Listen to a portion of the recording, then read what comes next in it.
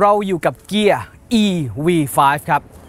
รถยนต์ไฟฟ้าจากเกียร์รุ่นที่ 2 ที่เข้ามาทำการตลาดในประเทศไทยหลังจากที่ก่อนหน้านี้ครับ เกียร์ EV9 รุ่นพี่ของเขาตัวใหญ่กว่าตัวนั้น 7 ที่นั่ง เปิดทำการตลาดก่อนแล้ว EV5 ครับ เราเห็นการเปิดตัวในงานมอเตอร์โชว์เมื่อต้นปีที่ผ่านมานะครับ ได้รับกระแสตอบรับค่อนข้างดี โดยเฉพาะเรื่องของราคา แล้วก็เรื่องของรุ่นที่มีให้เลือกหลากหลายนะครับ ราคาสตาร์ทเริ่มต้นตั้งแต่ 1.29 ล้าน ไปจนถึงตัวท็อปสุดคือตัวนี้ครับ นี่คือ EV5 Earth Exclusive All Wheel Drive เป็นรุ่นขับเคลื่อน 4 ล้อ คันเดียวที่มีอยู่ในรุ่นนี้นะครับ เกียร์ EV5 มีสีเขียว สีฟ้า สีดำ สีเทา แล้วก็สีขาว ราคาของเขาอยู่ที่ 1 7 9 9 0 0 0 บาท ก็เกือบเกือบ 1.8 ล้านนะครับ วันนี้เราได้มีโอกาสมาทดสอบครับทั้งพรีวิวภายนอกภายในของตัวรถ ลองขับขี่ตั้งแต่จังหวัดเชียงใหม่มาจนถึงจังหวัดเชียงรายครับ และเดี๋ยวผมมาบอกเล่าประสบการณ์ให้ได้ฟังว่า หลังจากที่พวกเราได้ใช้ระยะเวลาอยู่กับเขา 2 วัน 1 คืนกับรถยนต์คันนี้ครับเกียร์ EV5 นั้นจะทำได้ดีขนาดไหน ตามมาชมกันครับ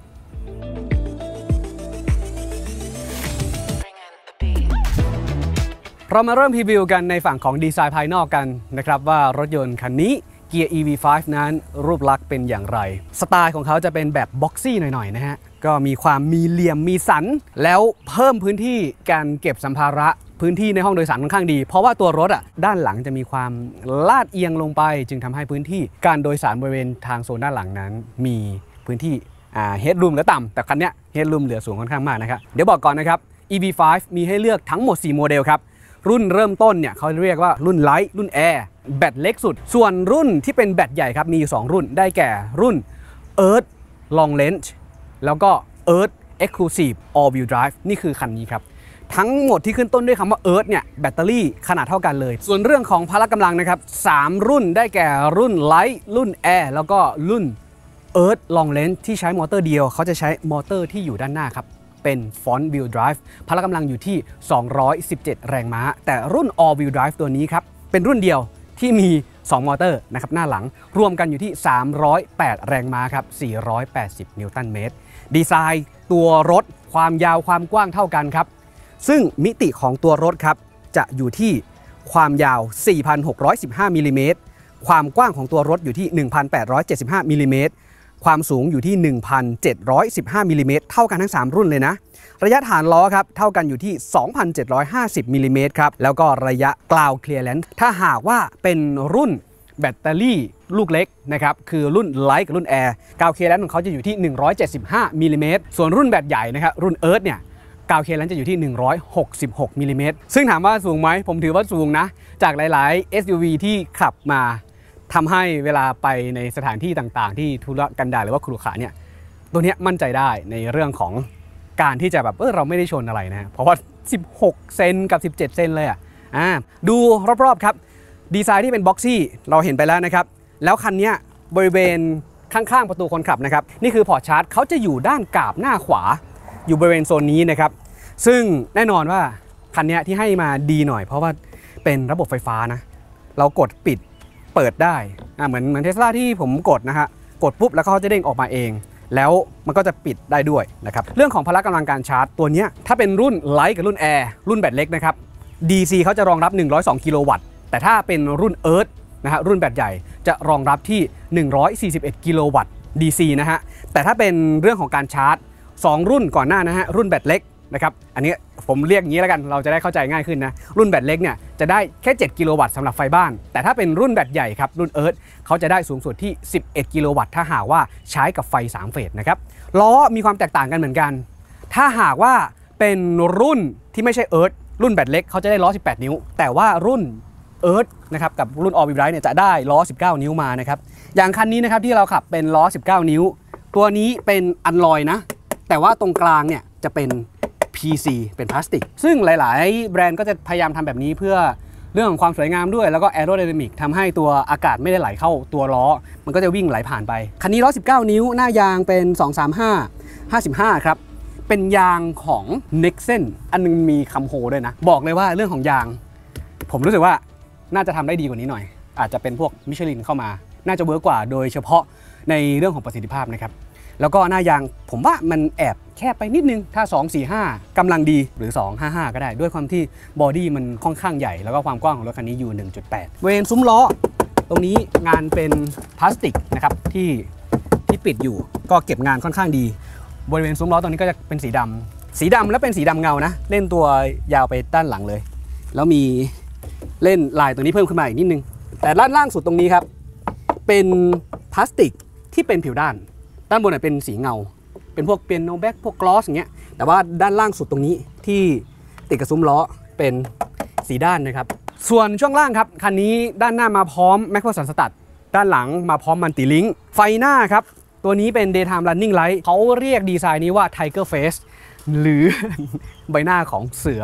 อ่าประมาณนั้น แล้วเวลาถ้าเราเปิดไฟเลี้ยวนะครับบริเวณโซนนี้จากไฟ daylight มันจะกลายเป็นไฟเลี้ยว ตรงนี้ก็จะหายไปนะก็จะสลับกันไป หลาย ๆ คันก็จะใช้ลักษณะดีไซน์แบบนี้ โซนด้านหน้าตรงนี้กระจัง ตรงนี้ตันทึบนะครับ ตรงนี้มีช่องระบายอากาศเข้าไปนะครับเป็นช่องลมมีกล้องด้านหน้า ตัวนี้เป็นช่องระบายอากาศเข้าไปเช่นเดียวกัน เออ แล้วก็ถ้าหากมองตรงนี้นะ ข้างในเนี่ยหลังตรงป้ายทะเบียน จะมีม่านเป็น active air intake เวลาที่อยากจะให้อากาศเข้าไปก็จะไหลได้ มีเรดาร์ด้านหน้าด้วยช่วยเรื่องการขับขี่ มีกล้องบอกไปแล้วนะฮะแล้วตัวนี้ก็เล่นลายสีออกแนวเงินเงิน chrome ๆหน่อย แล้วด้านล่างตรงนี้ก็มีการปิดพื้นที่ด้านล่างค่อนข้างดี มี ultrasonic sensor กะระยะให้ด้วย ถือว่าโอเค มาดูครับตรงฝากระโปรง ภายใต้ตรงฝากระโปรงตัวนี้ครับ จะมีพื้นที่เก็บสัมภาระหรือว่า frunk ให้ด้วย แต่ก็ไม่ได้ใหญ่มากนะ แต่พื้นที่เพียงพอที่เราจะใส่ของอทุเรียนก็ได้หรือว่าเผื่อเราไปซื้ออาหารทะเล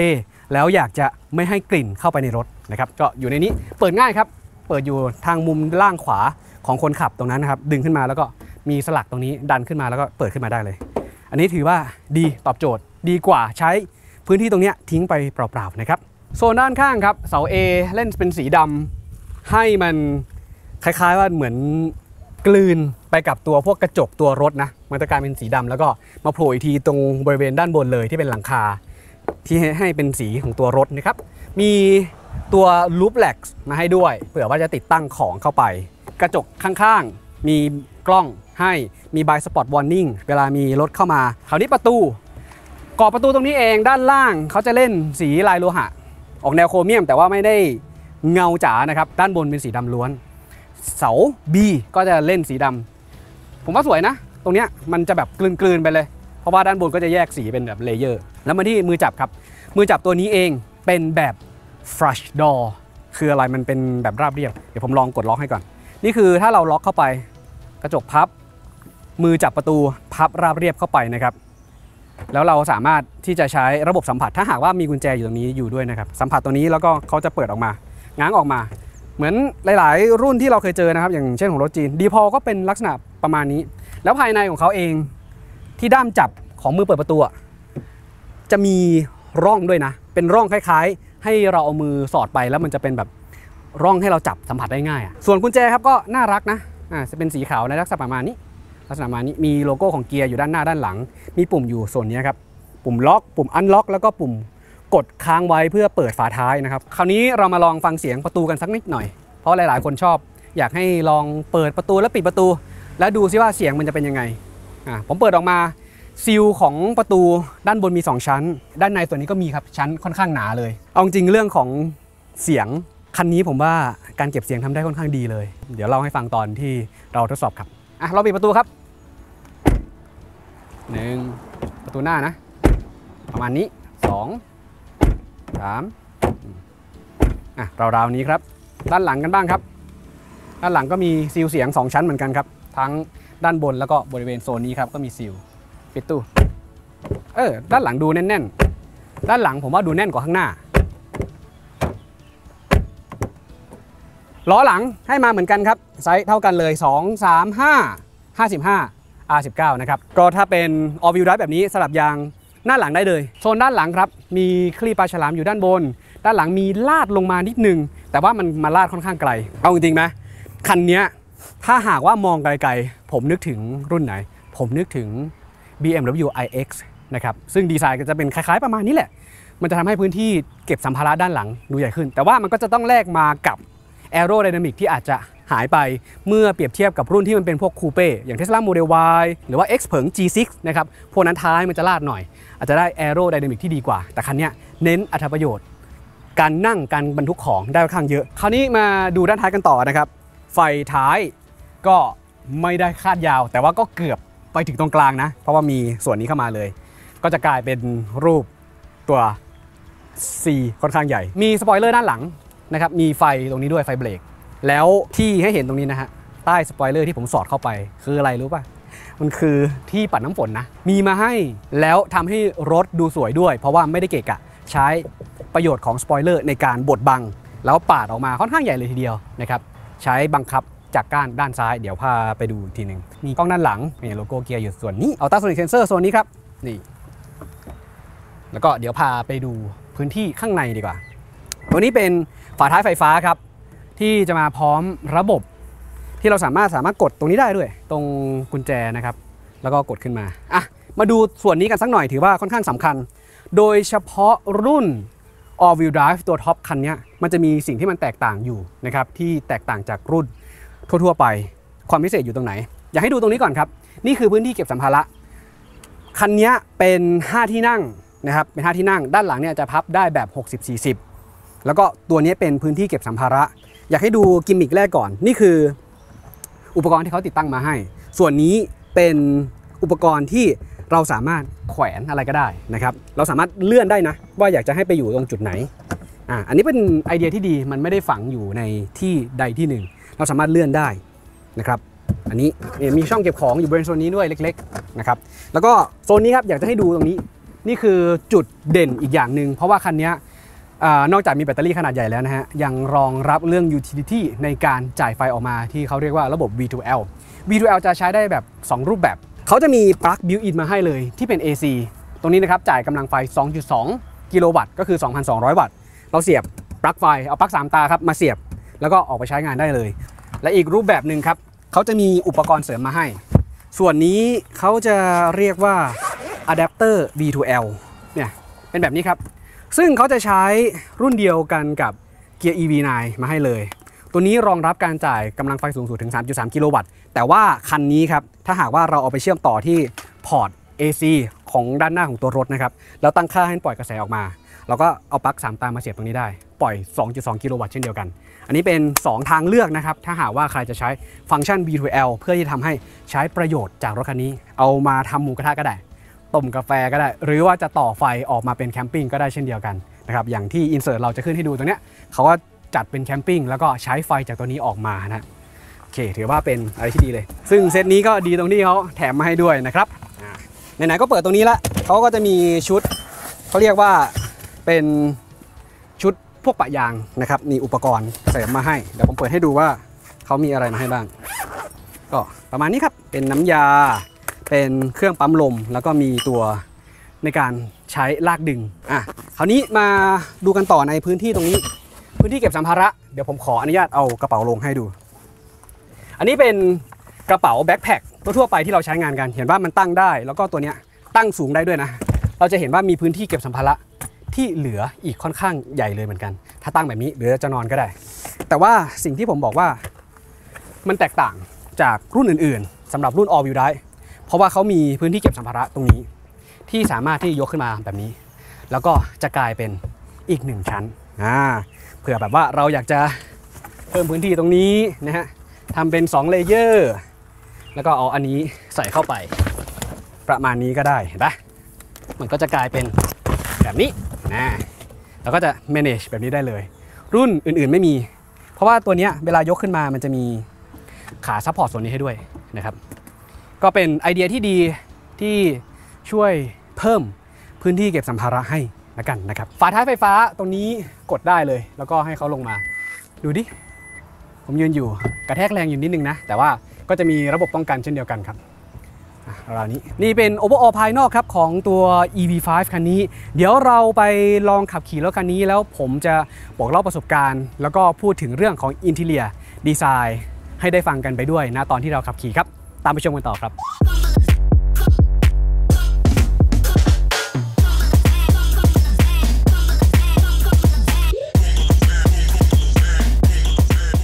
ตอนนี้เราอยู่ภายในของ Gear E5 นะครับ เดี๋ยวจะบอกเล่าประสบการณ์การขับขี่พร้อมกับเล่าโดยรวมของการดีไซน์ภายในให้ได้ฟังกันนะครับสำหรับรุ่น All Wheel Drive ที่เราขับตัวนี้นะครับ มีความแตกต่างกันนะ ถ้าหากว่าใครไปงานมอเตอร์โชว์แล้วไปดูรถโชว์ของ EV5 ซึ่งตัวนั้นเขาจะเอารุ่นเริ่มต้นไปให้ดูนะครับแดชบอร์ดสำหรับตัว All Wheel Drive เนี่ยเป็นวัสดุ Soft Touch ตัวนี้เป็นสีเบจนะ ภายในมันจะมี 2 สีคือสีดำแล้วก็สีเบจขึ้นอยู่กับว่าเราเลือกสีแบบไหนนะครับ ผมว่าดูดีเลย โดยรวมเนี่ยตัวนี้ถือว่าดี สีสวย แล้วก็วัสดุภายในดีในส่วนนี้เป็น soft touch ด้านบน แล้วก็หน้าจอขนาดใหญ่ครับ เป็นส่วนของหน้าจอยาวนะ 29.6 นิ้ว ถ้าจำไม่ผิดนะครับ แบ่งเป็น part 3 ส่วน part แรกก็คือฝั่งของ Infotainment แสดงพวกข้อมูลต่างๆ มัลติมีเดีย การควบคุมตัวรถอะไรอย่างเงี้ยมาให้ด้วย แล้วก็ฝั่งตรงกลางครับเป็นการแสดงผลฝั่งของระบบแอร์นะครับในตัวรถเราสามารถดูในส่วนของตัวนี้ได้ ปรับได้เป็นทัชสกรีนด้วย แต่ฝั่งขวาสุดครับที่อยู่หลังพวงมาลัยส่วนนี้ จะแสดงข้อมูลการขับขี่ เราสามารถปรับได้จากพวงมาลัยมัลติฟังก์ชันนะครับตัวช่องแอร์เองก็ปรับแบบแมนนวลมีอยู่ตรงกลาง 2 แล้วก็ซ้ายขวานะครับ แล้วที่ใต้จอของตัวนี้เองเขาจะมีเมนูสำหรับการ ทัชด้วยนะสัมผัส คือมันไม่ใช่เป็นตัวอักษรเฉยๆที่ไว้อยู่ตรงนี้ มันสัมผัสแล้วก็ตอบสนองได้ด้วย เราจะเข้ามีเดีย เราจะเข้าไปฟังก์ชันการเซตอัพอะไรเงี้ย เข้าโฮมหรือเข้าแมปอันนี้ก็ง่ายนะ เพราะว่ามันจะรวดเร็วโดยที่ไม่ต้องจิ้มที่ตัวหน้าจอของตัวรถเพียงอย่างเดียว แล้วก็บริเวณของพวงมาลัยมัลติฟังก์ชันตัวนี้ พวงมาลัยของเขาจะเป็นในรูปแบบไม่ได้กลมจ๋าๆมันจะมีความเหลี่ยมอยู่บริเวณด้านบนแล้วก็ด้านล่างด้วย พวงมาลัยจะเป็นแบบ 4 ก้านนะครับ ด้านข้างๆตัวนี้ แล้วก็จะมีปุ่มควบคุม ฝั่งของพวงมาลัยเอง ถ้าด้านซ้ายจะเกี่ยวข้องกับระบบช่วยขับขี่ พวก Adaptive Cruise Control ครับ พวกระบบการช่วยบังคับ พวงมาลัยให้อยู่ในเลน ปรับระยะห่างต่างๆ อยู่โซนนี้ครับ แล้วก็ดูข้อมูลการขับขี่สามารถเลื่อนได้ที่ตรงนี้ได้ ส่วนฝั่งขวาครับจะเกี่ยวกับระบบมัลติมีเดีย เพิ่มเสียงลดเสียง สั่ง voice command นะครับ เลือกโหมดในการเชื่อมต่อกับอุปกรณ์ต่างๆ ว่าใช้งานกันอย่างไร แล้วก็ที่สำคัญอีกอย่างหนึ่งครับ ตรงพวงมาลัยตรงกลางเลยนะ ที่อยู่ข้างใต้แตร ตัวนี้จะเป็นปุ่มของ drive mode คือเราสามารถปรับโหมดการขับขี่ได้ คันนี้ครับมีโหมดการขับขี่ทั้งหมด 4 โหมด ได้แก่ eco normal sport แล้วก็ snow ซึ่งก็จะแปรผันในเรื่องของกำลังการขับเช่นเดียวกัน ถ้าหากว่าใครขับ Eco Mode มันก็จะหนืดๆหน่อยเอื่อยๆหน่อย แล้วก็ระบบการ Regenerate ก็จะต่ำที่สุดนะครับ ก็จะไปเรื่อยๆครับ ไม่ได้แรงจ๋า ถ้าหากว่าใครอยากเร่งแซงแรงๆก็ Normal กับ Sport นี่มาเลยนะครับพละกำลัง 308 แรงม้าปรับตรงนี้ได้นะ ตอนแรกผมก็ปรับยังไงว่าในโหมดการขับขี่เนี่ยอ๋อมันอยู่ตรงนี้ง่ายเลยนะครับกดได้ง่ายเลยทำงี้ครับแล้วก็วางไว้ตรงนี้กดได้เลยสบายๆ แล้วก็เรื่องของก้านบังคับ มันจะมีอยู่ทั้งหมด 3 ก้านด้วยกันถ้าใครไม่เคยขับรถทางฝั่งของเกาหลีอาจจะงงๆหน่อยเนาะอ่าเดี๋ยวอธิบายให้ฟังแบบสั้นๆ ขวามือด้านบนสุดเป็นด้านไฟเลี้ยวนะครับเลี้ยวซ้ายเลี้ยวขวา แล้วก็พวกเปิดปิดไฟนะครับตั้งแบบไฟแบบอัตโนมัติก็ได้เช่นเดียวกันนะครับ และด้านล่างขวาจะเป็นก้านเกี่ยวกับระบบการเข้าเกียร์แล้วก็การสตาร์ทรถด้วย มันจะมีปุ่มที่ชื่อว่า EV แล้วก็จะเป็นเครื่องหมายกลมๆและขีด นั่นคือปุ่ม start stop รถนะเข้ามาในรถเนี่ยถ้าเราเหยียบเบรกเลย มันจะไม่สามารถสตาร์ทตัวรถได้นะบางยี่ห้อเข้ามาปุ๊บสตาร์ทโดยการเหยียบเบรกแล้วก็ ระบบทำงาน แต่ว่าตัวนี้ต้องกดตัวนี้ก่อนครับคำว่า EV อ่าแล้วก็รถจะสตาร์ทแล้วพอลงจากรถเสร็จปุ๊บเราต้องกดปิดด้วย เพื่อที่จะดับรถ แล้วตัวถัดมาครับข้างปุ่มสตาร์ทเนี่ยมันจะมีสัญลักษณ์การเข้าเกียร์คือ D N R แล้วก็ตัว P เป็นการบิดนะฮะให้บิดที่ที่ก้านใหญ่ ๆ ด้านขวาเนี่ยบิดไปด้านหน้าเพื่อเข้าเกียร์ดีครับในการที่จะขับ แล้วก็บิดมาด้านหลังเพื่อเข้าเกียร์ R แล้วก็เกียร์ N แล้วก็กดตรงกลางครับที่ปลายก้านก็จะเป็นเกียร์ P เพื่อที่จะเข้าทำการเจาะ ด้านซ้ายมือเป็นฝั่งควบคุมพวกก้านปัดน้ำฝน ซึ่งก้านปัดน้ำฝนตรงนี้ถ้าหากว่าเราจะปัดด้านหลังเราก็ต้องหมุนด้านที่ปลายปลายๆตรงนี้นะครับ เพื่อทำให้ที่ปัดน้ำฝนด้านหลังทำงาน อะ ก็จะใช้อยู่ประมาณนี้ครับ และที่สำคัญมันจะมีระบบ paddle shift ตัวนี้ให้ด้วย paddle shift จะมีทั้ง 2 ฝั่งเลยซ้ายขวา เอาไว้ทำอะไร เอาไว้ช่วยในเรื่องของระบบ regenerate พลังงาน หรือพวก regen นั่นแหละที่เราเรียกกันใช้มอเตอร์ในการ ที่จะช่วยหยุดรถแล้วก็ปั่นไฟกลับไปนะครับช่วยเบรกด้วย ข้อดีของระบบ regen ที่ผมชื่นชอบเลยสำหรับรถคันนี้ ผมว่ามันคือการนำความสามารถของรถยนต์ BMW กับ Mercedes-Benz เข้ามารวมกัน เพราะอะไรเล่าให้ฟัง คันนี้ครับระบบ Regenerate จะมีตั้งแต่ระบบอัตโนมัติ คือ Regenerate แบบออโต้เราสามารถปล่อยให้รถมันไหล แล้วถ้าสมมติว่าไม่มีรถข้างหน้าเนี่ยเขาก็จะไหลไปเรื่อยๆเลย เหมือนรถน้ำมัน แต่ถ้าหากว่าไปเจอรถข้างหน้า ช้าลง แล้วก็เราจะเข้าไปใกล้ๆเขาเนี่ยรถจะทำการเบรกให้โดยใช้ระบบดีเจนมาช่วย อันเนี้ยเราเจอในรถยนต์ของ BMW ที่เป็นรถยนต์ไฟฟ้านะครับ อันนี้ถือว่าดี ส่วนอีกอันนึงก็คือตัว pedal shift ที่อยู่ด้านหลัง เราสามารถปรับระบบ r e g e n ได้เลย มีอยู่ตั้งแต่ระบบ level 0 0 1 2 3 แล้วก็ไป iPedal 0 คืออะไร 0 คือไม่ต้องดีเจนเลย ปล่อยให้ไหลไปเรื่อยๆ เหมือนรถน้ำมัน ถ้าคุณอยากจะได้แบบนั้นก็ตามใจ ซึ่งถ้าใครขับรถยนต์น้ำมันมาแล้วมาขับ EV5 คันนี้ ผมว่าน่าจะชื่นชอบนะ เพราะว่าคุณจะเลือกปรับได้เลย จะให้หน่วงน้อยหน่วงมากตามความต้องการ แต่ผมชอบสุดคือระบบ auto ปล่อยให้เขา gen ไปเลยนะครับ อันนี้ที่ชื่นชอบในฝั่งของพวงมาลัย อื่นๆครับ พวกปุ่มที่บริเวณโซนนี้คือมันเป็นการรวมระหว่าง physical กับดิจิตอลเข้าด้วยกันทำให้คนที่ เปลี่ยนจากรถน้ำมันมาเพื่อที่จะมาขับคันนี้ยังใช้งานได้อยู่นะครับพวกปรับโหมดตรงนี้ปรับ temperature พวกอุณหภูมินะครับ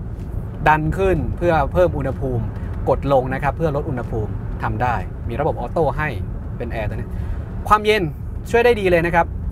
ตรงกลางเนี่ยปรับให้ได้ตรงเราได้ แต่ว่าตรงด้านข้างเนี่ยอาจจะต้องปรับนิดนึง เพราะว่าบางทีมันกดอาจจะไม่ถึงตัวเรา ถ้าใครตัว ไม่ได้สูงมากนะครับ อาจจะมันจะยิงโดนหน้าซะมากกว่านะแต่ก็สามารถปรับได้บริเวณโซนนี้ อีกอย่างหนึ่งที่ชื่นชอบสำหรับรุ่น Earth Exclusive All Wheel Drive ตัวนี้ เพราะว่าเขาให้ฟังก์ชันมาจัดเต็มเนาะไม่ว่าจะเป็นพวกระบบเบาะนวดครับเบาะนวดสำหรับคนขับ ด้านของคนนั่งเนี่ยก็จะมีพวกตัว lumbar stretcher นะครับก็นวดตีๆหน่อยๆ แต่ก็อาจจะไม่ได้เยอะเท่าตัวนี้ มีเบาะเย็นมาให้มีเบาะอุ่นมาให้ แล้วการควบคุมเบาะอยู่แผงประตูเลย ซึ่งอยู่แผงประตูตรงนี้เราสามารถเลือกปรับเบาะเป็นเบาะเย็นได้ ปรับเบาะอุ่นได้ แล้วก็ใช้ระบบ memory seat ได้ 2 ตำแหน่ง แล้วอุ่นพวงมาลัยกดได้ตรงนี้ คือมันง่ายตรงที่เราเห็นปุ๊บเราสามารถกดได้เลย แล้วไม่ต้องเข้าไปกดข้างใน แต่ว่าระบบนวดเนี่ยเราจะต้องเข้าไปตั้งค่าภายในนะครับที่การตั้งค่าซีทที่เข้ามาในหน้าโฮมแล้วก็มาเซตอัพแล้วก็เซตอัพแล้วก็มาอยู่ในโซนนี้ครับพวก vehicle นะครับก็จะมีการตั้งค่าซีทอันนี้คือการปรับเบาะ ที่ผมอยากจะสื่อคือตรงนี้เขาเอาฟังก์ชันที่จำเป็นออกมา แต่ว่ามันก็จะมีบางจุดอันหนึ่งตรงนี้ memory seat สมมุติเราตั้งค่าไว้ เราจะเรียกใช้งานมันได้ก็ต่อเมื่อเราจอดรถถึงจะสามารถปรับได้ แต่ถ้าหากว่ารถเคลื่อนไม่ไม่สามารถปรับได้ อันนี้อาจจะมีปัญหาอยู่นิดนึง แล้วก็ปุ่มต่างๆ อยู่ข้างๆนี่ก็ไม่ได้มีอะไรมากครับ ก็ใช้งานได้ง่ายตามมาตรฐานทั่วไป แผงประตูตรงนี้ผมรู้สึกว่าเออไหนๆก็นั้นนะทำไมไม่บุซอฟทัชมาให้เนาะ ข้างข้างหน้าเป็นซอฟทัชไง แต่ว่าข้างๆ ตรงนี้มันเป็นพลาสติก อันนี้ soft touch นะครับที่อยู่ที่รองแขนของเรา เหนือขึ้นมาเนี่ยเป็น soft touch แต่ว่าโซนนี้ครับเป็น PC จริงๆ น่าจะเอาขึ้นมาให้สักหน่อยซะน่าจะโอเคหน่อย มีไฟ ambient light อยู่ตรงนี้ ambient light เนี่ยมันโค้งเว้าไปด้านหน้าหมดนะ ส่วนข้างบนเสา A ตรงนี้ อ่าเนี่ยชัดเจนพลาสติก PC ไม่มีหุ้ม ด้านบนหุ้มหน่อย แล้วก็ด้านหน้าตรงนี้นะครับ แผงที่บังแดดนะครับ ขนาดใหญ่แล้วก็กระจกขนาดใหญ่มีไฟให้ด้วย ตัวนี้มีหลังคาซันรูฟมีม่านด้วย เปิดม่านได้ เปิดซันรูฟได้ step การเปิดอยู่ตรงนี้ครับมี 2 step ต้องกดดีๆ กด 1 step เพื่อเปิดม่านเบาๆนะครับและกดค้างไว้มันก็จะเปิดซันรูฟให้ด้วยนะฮะส่วนนี้แล้วก็อีกอย่างหนึ่งผมอยากจะเล่าตรงกลางนะครับ ปกติเราเห็นมันจะเป็นช่องสำหรับการเก็บนี่ใช่ปะเก็บสัมภาระ อ่าแต่ว่าตัวนี้เนี่ยที่เขาดีไซน์มาค่อนข้างแปลกเลย เหมือนเอาเบาะของคนนั่งอะ่ะแล้วเป็นเพิ่มส่วนขยายออกมาให้มันอยู่ตรงกลางนะครับแล้วก็จะเป็นเป็นช่องที่ไว้เสียบ อาจจะเสียบอุปกรณ์อาจเสียบมือถือก็ได้หรือว่าอะไรก็ตามนะครับอ่ามันก็แปลกดีแล้วก็ที่วางแขนตรงเนี้ยสามารถเปิดขึ้นได้อย่างนี้นะครับ คือคุณผู้หญิงถ้ามีกระเป๋าอาจจะวางตรงนี้ก็ได้ อย่างน้องน้องน้องอีวิวเกิลเขาก็ชอบเอากระเป๋าเขามาวางไว้ตรงนี้ หรือผมก็นึกว่าเฮ้ย ให้แมวนั่งเหรอ ตรงนี้นะครับมันก็จะขยายพื้นที่ออกมาได้นะครับ แล้วก็ด้านล่างของตรงคอนโซลกลางตรงนี้มันจะมีพวกปุ่มที่เราจะใช้งานบ่อยอย่างเช่นมีระบบออโต้โฮครับที่เราจะกดเปิดเพื่อที่จะเวลาเราติดไฟแดง เราเหยียบเบรกเข้าไป แล้วก็เขาจะเบรกรถไว้ให้เราเป็นการโฮเอาไว้ มีปุ่มช่วยการจอดมี hill descent มีดูกล้องรอบคัน แล้วก็มี fingerprint ให้ด้วย fingerprint ตัวนี้มันเอาไว้ใช้สำหรับการ authenticate ถ้าหากว่าเราจะขับรถ นะครับมันก็จะเป็นการจัดการโปรไฟล์ ซึ่งโปรไฟล์ตัวนั้นมันก็จะจำค่าการตั้งค่าอะไรต่างๆ ของเรา อันนี้ก็ถือว่ามีความสะดวก แต่ว่าตัวนี้เอง ณ ปัจจุบันของคันนี้นะแม้ว่าในตัวรถเป็นระบบที่ smart แต่ว่ายังไม่มีแอปพลิเคชัน ซึ่งผมก็ได้ทราบข้อมูลมาว่าแอปพลิเคชันเดี๋ยวกำลังจะพัฒนานะแล้วก็อาจจะต้องรอในช่วงสักราวๆปีหน้าก็มาว่ากันอีกทีหนึ่งในส่วนนี้ครับเหนือ ช่องเก็บของแล้วก็พวกที่ชาร์จไร้สายขึ้นมาเนี่ยมันจะมีพอร์ต USB-C ด้านหน้าเขาจะให้มา 2 พอร์ตครับ ซึ่งตัวเนี้ยมันจะมีกิมมิคอย่างหนึ่งคือปกติพอร์ต USB-C ที่ให้มาเนี่ยเราสามารถชาร์จได้ใช่ปะอ่าชาร์จได้ถูกต้องละแล้วตัวเนี้ยมันจะมีพอร์ตด้านซ้ายมือสุดครับ ซึ่งตัวนั้นอะจะแบ่งเป็นการชาร์จ แล้วก็การเชื่อมต่ออุปกรณ์ด้วย เชื่อมต่อ CarPlay แบบไร้สายได้ แล้วก็แบบสายได้ด้วย ตรงเนี้ยพอเราเชื่อมต่อแบบสายใช่ปะ คือเราต้องกดเข้าไปทีหนึ่งแล้วตัวไฟครับมันจะเปลี่ยนจากการชาร์จเฉยๆ มาเป็นการโอนถ่ายข้อมูลด้วย อันนี้ผมว่าโอเค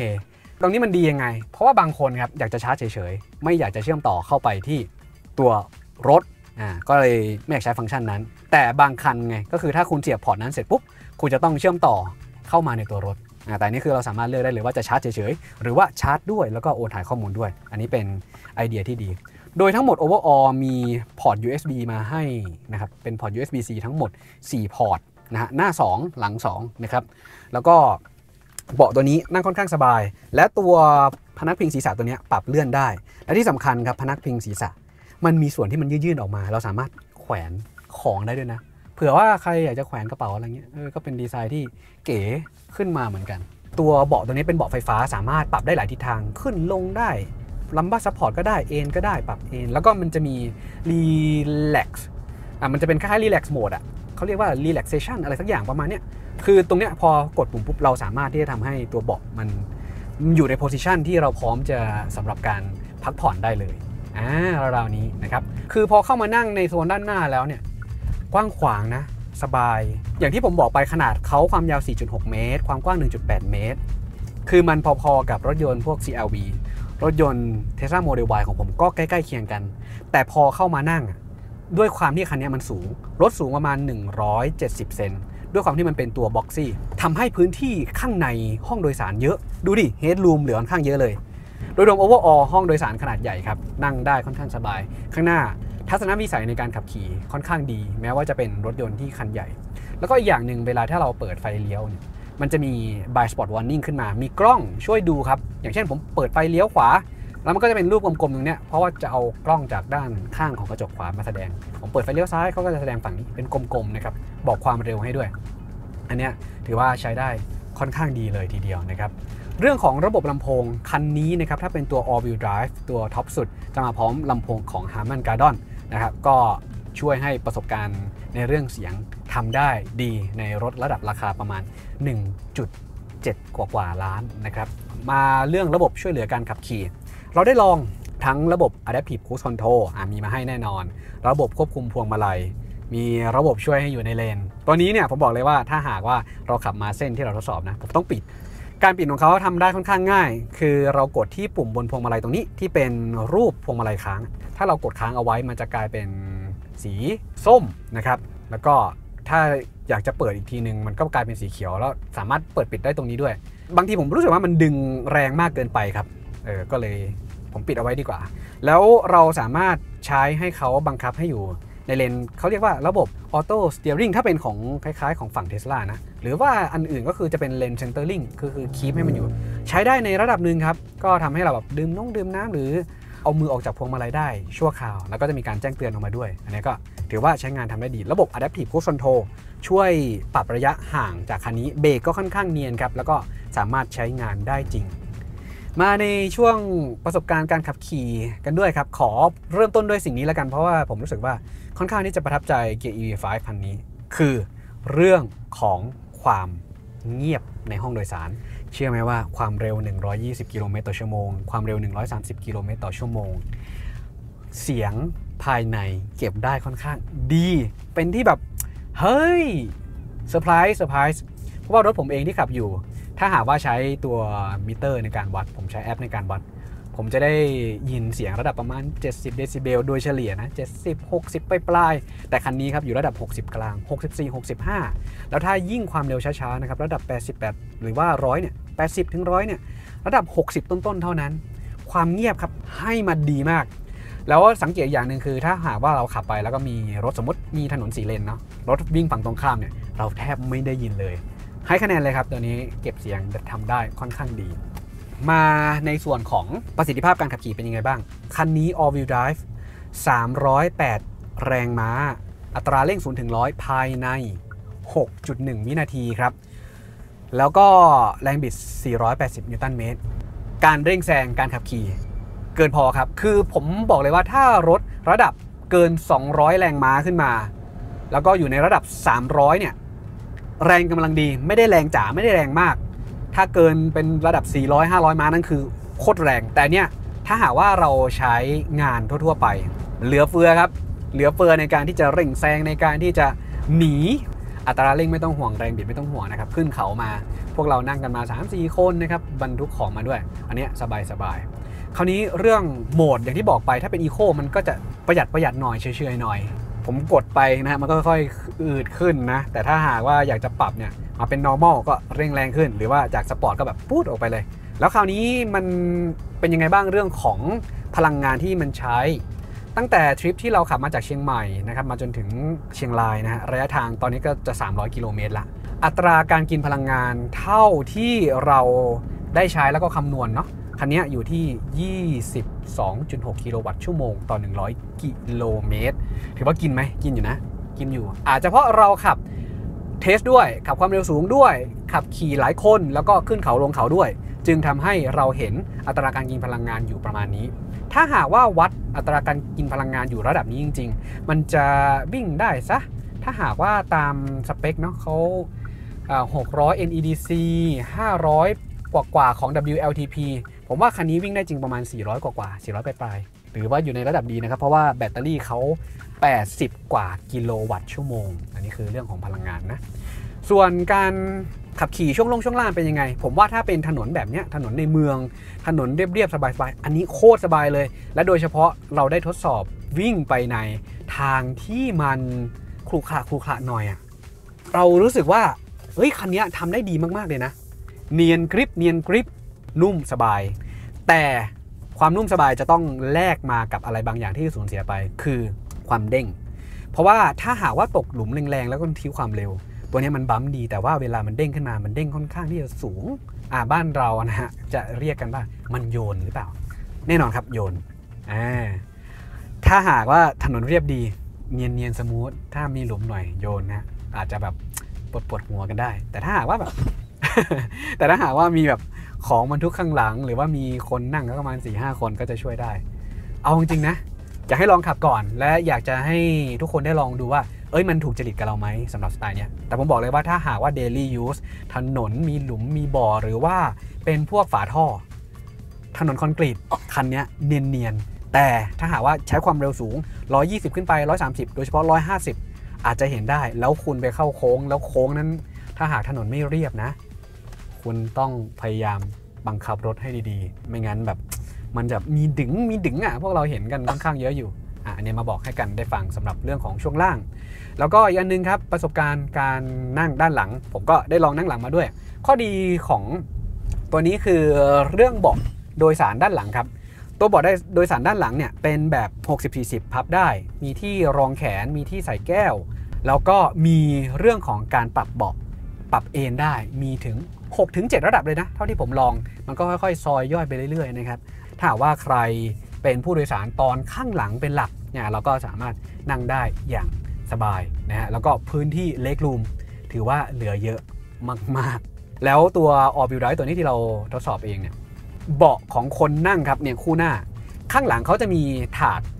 เป็นถาดเอาไว้แบบวางของอะ่ะ อย่างเช่นวางแล็ปท็อปวางของอะไรต่างๆ ถ้าหากว่าเราจอดพักหรือว่าระหว่างที่เราขับไปก็ตามนะครับเราอาจจะมีของวางไว้ตรงนั้นก็มีให้ด้วยเช่นเดียวกัน ถือว่าให้อัตประโยชน์ค่อนข้างเยอะสำหรับรถครอบครัว โดยเฉพาะแบตใหญ่ชาร์จได้อยู่ในระดับดีครับ เพราะว่าคันนี้ก็ 140 กิโลวัตต์นะครับ ความเร็วในการชาร์จ DC นะ AC ก็สูงสุด 11สำหรับรุ่นตัวท็อปนะครับ เป็นอีกคันหนึ่งครับที่ค่อนข้างถือว่ามี potential ในการทำตลาดในประเทศไทยในรถไซซิ่งขนาดนี้ ที่จะจับกลุ่มตลาดของผู้ใช้งานรถครอบครัว โดยเฉพาะ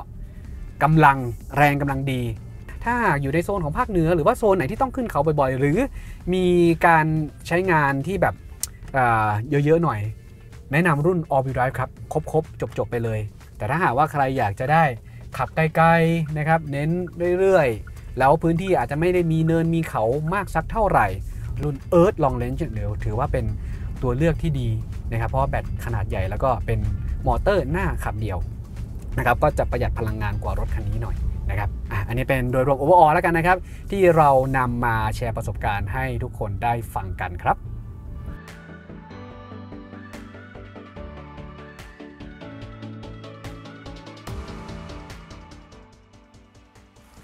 นี่ก็เป็นประสบการณ์ที่เราได้นะครับ จากการทดลองขับ Gear EV5 ถือว่าเป็น first impression ครับ ที่ได้ลองสัมผัสได้ลองขับ อยู่กับเขานี่ใช้ระยะเวลา 2 วัน 1 คืน ได้เรียนรู้ทำความรู้จักกันมากขึ้น มีทั้งส่วนที่ชอบก็ค่อนข้างเยอะ มีส่วนที่จะต้องปรับปรุงนะครับว่าเป็นจุดไหนก็ได้บอกเล่าให้ทุกคนได้ฟังกันแล้ว เผื่อว่าใครที่สนใจแล้วก็แพลนที่อยากจะซื้อรถยนต์ไฟฟ้ารุ่นนี้นะครับจะได้มีข้อมูลประกอบการตัดสินใจ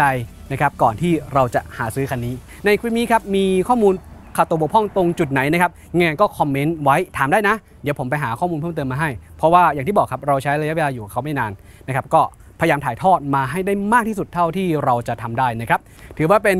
ก้าวที่สำคัญนะครับของเกียร์นะครับตามนี่โลโก้ตรงนี้เลยนะครับในงานครั้งนี้มีนี่ฮะเขาบอกว่า make a bold move นะถือว่าเป็นการย่างก้าวขึ้นมาอย่างแบบมั่นใจ นะเพราะว่าก่อนหน้านี้ผมเชื่อว่าหลาย ๆ คนอาจจะยังไม่ค่อยได้ รู้จักกับแบรนด์เกียร์มากเท่าไหร่ มีคนกลุ่มน้อยมาก ๆ ค่อนข้างนิช แต่ว่าการมาของ EV9 แล้วก็ EV5